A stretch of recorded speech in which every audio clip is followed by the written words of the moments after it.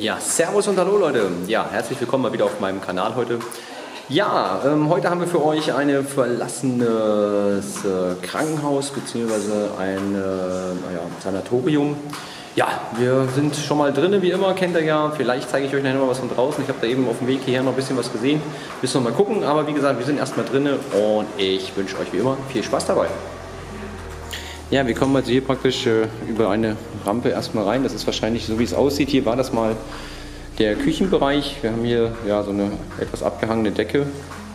Ähm, wie gesagt, hier haben wir den Eingang. Ja, hier hupt auch hier im Hintergrund noch die Bahn. Ja, und zwar haben wir dann hier hinten nochmal so, ja, ich nehme mal an, dass das wahrscheinlich Büroräume waren. Ähm, alte Decke, Lampe ist noch vorhanden. Und hier halt auch teilweise noch mit diesen Fliesen an den Wänden. Hier wurden die Fliesen teilweise gestrichen auch. Ähm, wie gesagt, genaue Nutzung kann ich euch nicht sagen, aber was hier sehr schön ist, dass halt auch hier wieder mal wieder die Pflanzen schon an den Fenstern reinwachsen. Also auch wieder etwas sehr Schönes, was man hier teilweise sehen kann. Und hier hinten ging es dann praktisch auch nochmal durch so einen gefliesten Bereich. Äh, ja, hier im Boden war wohl mal eine Ablaufrinne, wie man sehen kann. Und hier im vorderen Bereich hat man, ganz toll zu sehen, so eine wirklich lange Rampe von oben nach unten, ähm, was halt auch ja, sich einmal so durch den ganzen Trakt hier praktisch zieht.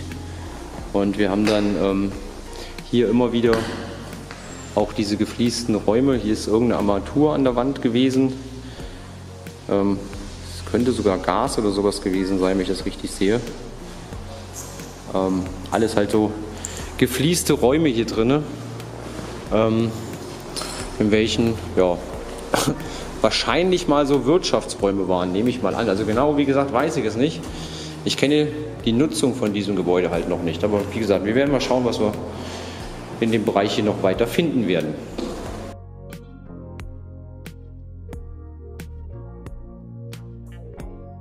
So, ja, hier sind wir praktisch ähm, schon mal, das war wahrscheinlich, nehme ich mal an, so eine Art Umzieh-Waschraum.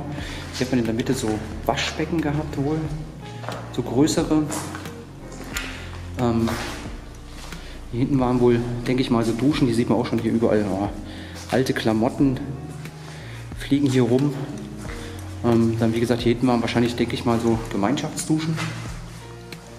Und ja, geht es dann auch schon direkt weiter praktisch in ein Treppenhaus. Also außer hier schon mal ein kaputtes Glasfenster. Ach du Schande. Ja, ist das hier wohl, keine Ahnung. ja, das ist eine Müllhalde hier. Ich weiß nicht, hier, hier lagert irgendjemand seinen Müll.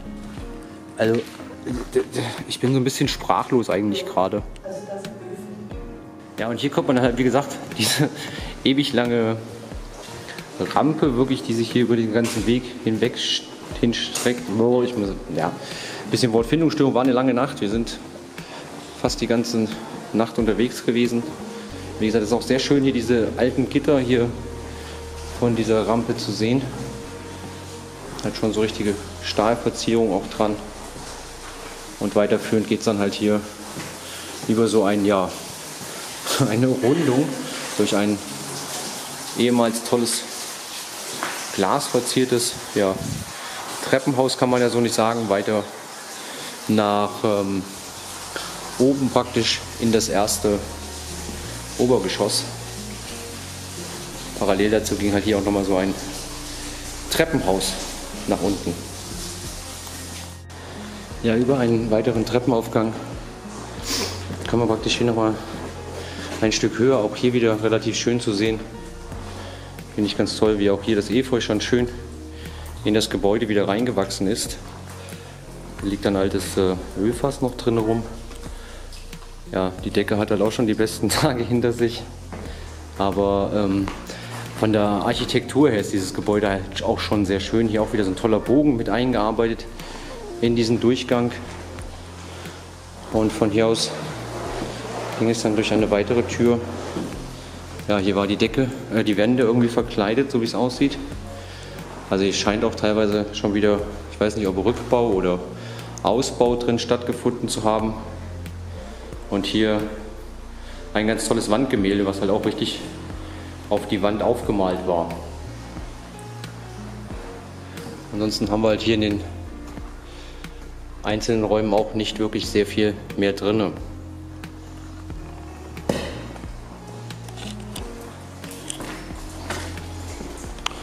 Liegt noch eine alte Badewanne. Und weiterführend ähm, sind dann hier auch wieder so relativ große Räume. Also auch hier weiß ich nicht, also was das denn mal gewesen sein könnte. Also wie gesagt, meine Angaben beziehen sich da auf äh, nicht zuverlässige Quellen aktuell. Also ich kann nicht genau sagen, was das hier mal gewesen ist. Also wie gesagt, mein Kenntnisstand war halt ein Sanatorium. Freunde, und im Keller drinnen gibt es praktisch nochmal einen Keller. Boah, hier stinkt oh, übelst nach Heizöl. Also denke ich mal, das wird, oh, man sieht es auch schon hier auf dem Boden, ist alles voll. Ja, also das hier war dann wohl der Heizungsraum. Hier drin ist auch alles relativ schwarz gerußt. Und hier ist überall Heizöl wirklich auf dem Fußboden. Ich will jetzt hier gar nicht weitergehen, weil wie man sieht, ist hier alles voll. Und dann tragen wir den ganzen Zeug wirklich hier raus. Also es ist also wirklich nicht schön. Auch die Wände sind so, ja, selbst meine Finger stinken schon nach Heizöl. Also ja, hier hinter praktisch der Heizraum. Ja, in diesem Bereich hier haben wir dann nochmal praktisch so einen Lastenaufzug, der wahrscheinlich unten aus der Küche, den hatten wir unten gar nicht gesehen, oder aus diesem Küchenwirtschaftsbereich eine Etage nach oben fährt. Und hier haben wir halt nochmal, das ist ja, ich weiß nicht, vielleicht so ein Müllschlucker oder sowas gewesen. Auf jeden Fall konnte man hier halt Sachen nach unten befördern. Über so ein, ja, Art Silo oder sowas. Habe ich vorher auch noch nicht gesehen, weiß ich auch nicht, was das sein könnte, aber sieht interessant aus auf jeden Fall. Ja, hier haben wir dann mal so ein, ja, das ist wohl, waren das wohl Zimmer vorher gewesen mal. Ähm, aber auch alles so relativ große Zimmer. Hier gucken mal von außen rein. Hier sind auch teilweise Mauern umgebaut worden und hier haben wir halt so einen riesig langen Balkon halt auch äh, nochmal, wo man praktisch hier einmal an den ganzen einzelnen Abteilungen vorbeilaufen kann. Wobei mir die Zimmer halt auch hier alle sehr groß erscheinen. Aber ich weiß halt auch nicht, in welcher Form die denn wie genutzt wurden. Wie gesagt, ich habe nicht wirklich viele Informationen hier drüber, aber es ist halt schon teilweise sehr gut der Verfall auch hier drin immer wieder zu erkennen. Ja, und leider fehlt halt hier auch schon, glaube ich wohl, so etwas, weil irgendwie sind das ja alles so riesige Räume drin. Teilweise etwas abgeteilt, teilweise gefliest. Ist ja ein bisschen sehr, sehr komisch, würde ich sagen. Also draußen haben wir nochmal so ein altes Ofenrohr an der Wand. Und ansonsten sind das halt alles wirklich so riesige Räume mit so Abteilungen zwischen kann ich nicht so wirklich. Also vielleicht waren das hier so ja, Mehrbettzimmer oder sowas. Vielleicht wurde man hier eingeschoben. Ich weiß es nicht. Also für mich macht das mehr einen Anschein, als wäre das mal eine Fabrik gewesen. Ja, so und hier kommen wir wirklich nochmal, das war praktisch auch nochmal mit diesen Riesenräumen verbunden. Hier scheinen Waschräume gewesen zu sein oder ein Waschraum. Ähm, ja, auf jeden Fall Waschbecken erschließt sich mir noch nicht so ganz, was das eigentlich so, wie gesagt, immer noch gewesen ist. Ich bin noch so ein bisschen am Krübeln. Es ist so ein bisschen alles, ja, sehr runtergeranzt. Eigentlich hier haben wir auch den nächsten riesigen Raum. Also ein riesiger Raum schließt sich an den nächsten irgendwie. Aber wie gesagt, angeblich wohl ein Sanatorium mit Fliesen und Großraumbüros. Ja, so, und jetzt sind wir noch mal ein Stockwerk praktisch höher. Oh, hier erschrecken uns die Tauben. Hier ist halt auch sehr zügig. Hier ist nochmal so ein bisschen anderer Aufbau. Aber der Aufbau muss wohl wirklich so gewesen sein. Vielleicht waren hier so immer ein paar Patienten zusammen. Dann war hier so eine Trennwand und das immer so weiter. Ähm, und hier vorne hat man dann praktisch so einen langen Gang gehabt. Ja, so und hier haben wir dann praktisch nochmal so einen ähm, ja, alten Ofen. Der ist äh, leider auch schon kaputt. Aber hier sieht man halt auch nochmal, hier unten liegt die Ofenplatte sind auch reichlich schwarze Steine. Und hier oben an der Wand war also praktisch so ein äh, Ofenrohranschluss. Also das war wahrscheinlich auch nicht mehr in der Endnutzung so. Ich nehme mal stark an, dass das Ganze hier in der Endnutzung dennoch auch anders genutzt worden ist. Schade eigentlich, ja. Wie gesagt, man sieht zwar noch ein wenig was davon, aber es ist halt nicht, äh, ja, es ist halt, es ist halt nicht das, ne? was man sich eigentlich unter einem Krankenhaus vorstellt oder Sanatorium. Ja, und hier über das äh, Treppenhaus kam man dann praktisch ja auch nach oben und ähm, hier war dann eine große Tür zum Balkon. Der Fußboden war halt auch hier so, das war halt mal wahrscheinlich Linoleumboden oder sowas. Ähm, und hier waren dann nochmal so auch äh, wohl Duschräume, so wie es, äh, ähm, Toilettenräume und hier dann auch nochmal die Waschräume. Aber hier schien halt auch alles mit so Fenstern. Das ist ja halt mehr so, also man kann sich das glaube ich eher so vorstellen wie, dem, wie, wie bei Scrubs oder sowas. Dass das vielleicht alles so abgeteilt nur war. Und man hier mehr so auf diese, ja, ich hätte beinahe gesagt Großraumbüros gesetzt hat.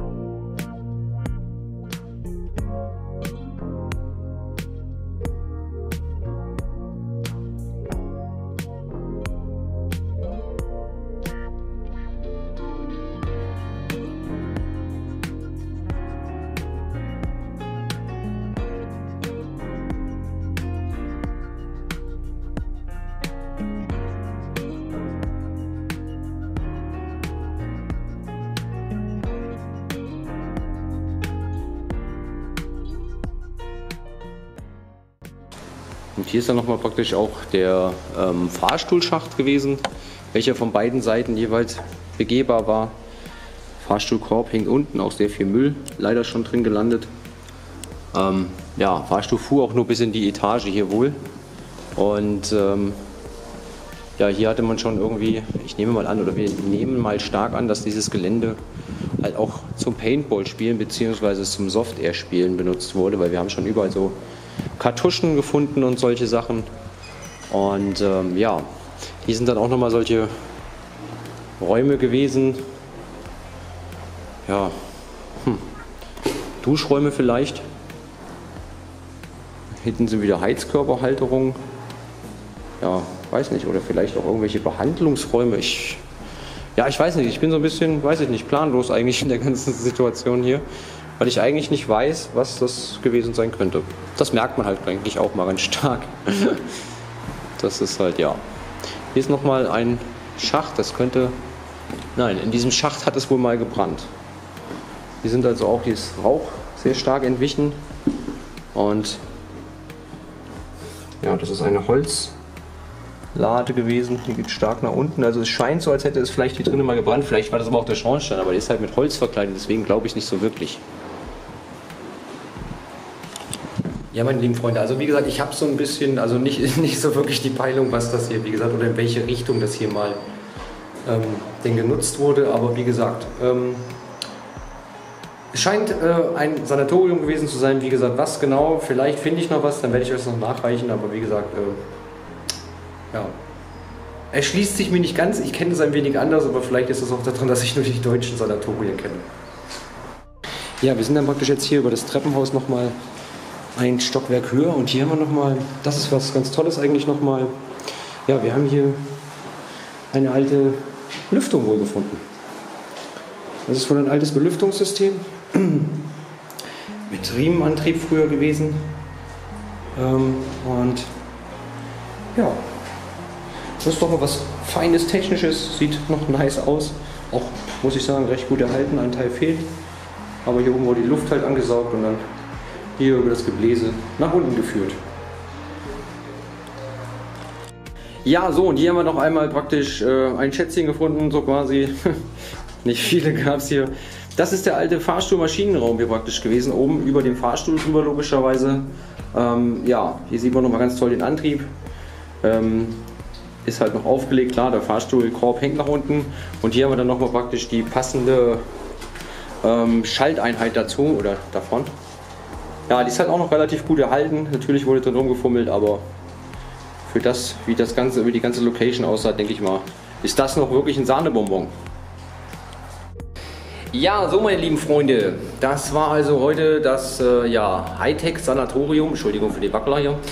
Ähm, ja, im Hintergrund sehen wir nochmal hier die schöne Dachterrasse, hätte ich beinahe gesagt. Ähm, ja, hier haben wir nochmal Ausgang zum Dach oben. Ähm, ja, leider nicht mehr viel zu sehen.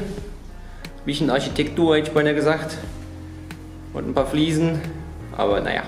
Man kann hier immer Glück haben, also bis dahin. Ich hoffe, es hat euch vielleicht trotzdem gefallen, dieses kleine Video. Und ähm, ja, wer nichts mehr verpassen will, der abonniert meinen Kanal und abonniert äh, und drückt die kleine Glocke neben dem Abo. Und hinterlasst doch einfach einen Kommentar, würde ich mich sehr darüber freuen. Also bis dahin, ciao.